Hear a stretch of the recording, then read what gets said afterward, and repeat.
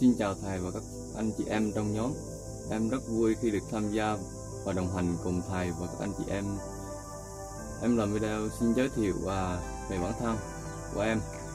Em tên là Châu Thanh Trung, sinh năm 2000, năm nay em 18 tuổi và và em vừa tốt nghiệp cấp 3. À, hiện tại em đang ở huyện Thanh Bình, tỉnh Quảng Nam. Em rất à, em biết tới thầy à, Dương Trung Hiếu vào năm giữa, giữa năm 2016 và sau đó tập tập làm YouTube nhưng mà làm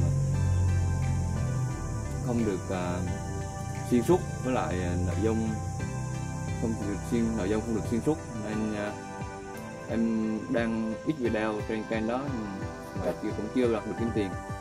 À, và sự chuẩn bị cũng chưa được chu đáo.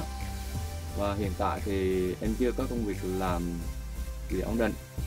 Và em uh, định đi theo con đường MMO để cho và xin uh, à, và cảm ơn các thầy và các anh chị uh, đã xem video.